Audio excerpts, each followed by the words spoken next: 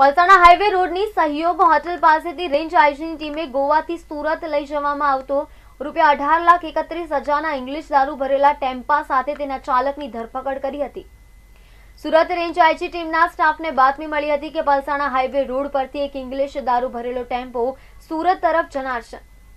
બાતમીને આધારે પોલીસે પલસાણા બ્રિજ નીચે વોચ ગોઠવી રૂપિયા અઢાર લાખ એકત્રીસ હજારથી વધુના ઇંગ્લિશ દારૂ ભરેલા ટેમ્પા સાથે તેના ચાલક મુકેશ મનોહર પટેલની ધરપકડ કરી રૂપિયા છવ્વીસ લાખ તેત્રીસ હજારનો મુદ્દા માલ કબજે કર્યો હતો. જ્યારે પોલીસે આ પ્રકરણમાં ગોવાથી ઇંગ્લિશ દારૂ ભરાવી આપનાર પંકજ જયસ્વાલને વોન્ટેડ જાહેર કરી વધુ તપાસ હાથ ધરી છે.